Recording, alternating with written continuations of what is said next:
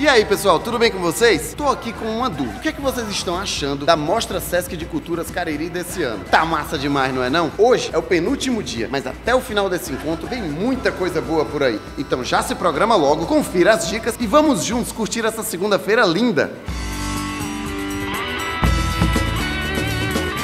Em um cenário composto por uma máquina de escrever, uma mesa e duas cadeiras, surge um convite troca um caos por um conto. O poeta de rua Daniel Viana ouve histórias de vida das pessoas e transforma de imediato o depoimento em poesia ou microconto. Não é demais? O resultado é datilografado em guardanapos coloridos e presenteado ao público participante. Esse encontro vai acontecer aqui na Praça da Sé, no Crato, às 10 horas. Nascido em São Paulo em 1976, descendente de japoneses e espanhóis, Luciano Nakata Albuquerque ganhou logo cedo o apelido de Curumim. Ele iniciou sua carreira musical por volta dos 8 anos de tocando panelas em substituição à bateria.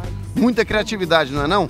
Hoje, ele é conhecido por incorporar diversos estilos musicais, como hip hop, funk, jazz, bossa nova e samba. Ficou curioso? Ou já conhece e não vê a hora de assisti-lo no palco? Pois já fica atento que o Curumim se apresenta às 21 horas no terreiro da Mestra Margarida, em Juazeiro do Norte. Do Mississippi ao Cariri, é possível? Jefferson Gonçalves mostra que sim. Ele é uma das principais referências dentro do cenário da gaita no Brasil e no mundo, e dono de um estilo inconfundível ao fazer um mix entre música negra norte-americana e o regionalismo dos ritmos nordestinos, como o forró, o baião, o chachado e o maracatu. No show, que vai acontecer no Palco Cruzeiro, no Crato, às 19 horas, vamos ter a chance de conferir diferentes sonoridades que se unem para criar uma atmosfera tipicamente brasileira. Sabe quem também está aqui? Nada mais, nada menos que Inácio de Loyola Brandão, escritor super renomado e o mais novo membro da Academia Brasileira de Letras. E essa é Rita Gulo, minha filha, cantora. Nós estamos juntos no show Solidão no Fundo da Agulha, em que eu conto momentos da minha vida marcados por canções.